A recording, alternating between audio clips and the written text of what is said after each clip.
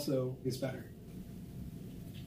So before you even we even do like a traditional prone P to A thrust, I just want to talk about if we can't be specific, we don't need to be tied to these rules like oh do unilateral P to A on the on the right side to improve trunk rotation to the left. And if I wanted to improve trunk rotation to the right, I would do a unilateral P to A on the left, which would make the vertebrae rotate to the right, right? Like spring test, oh, this is stiff.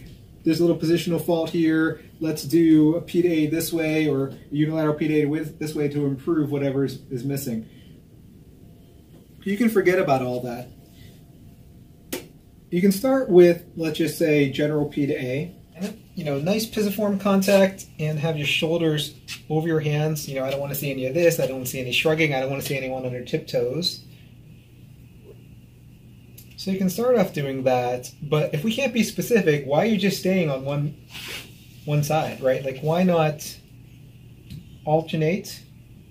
You can just alternate just generally up and down the spine. Think about if all we're trying to do is provide novel stimulus once you vary that amount of stimulus as much as you can, if we are not worried about which direction the facet's going, you know, we can do P to A and inferior. I can do P to A and superior. We can alternate left and right, or why even stay around within one level. Why not do unilateral P to A's up and down the spine?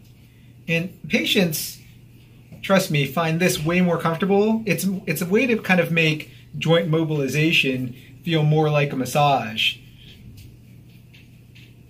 Because while there are people who absolutely want you to take and mash the tender point, the trigger points, or the stiff joint as much as possible, most people will appreciate you actually staying away from the super tender point and not oscillating on it until the nervous system kind of relaxes.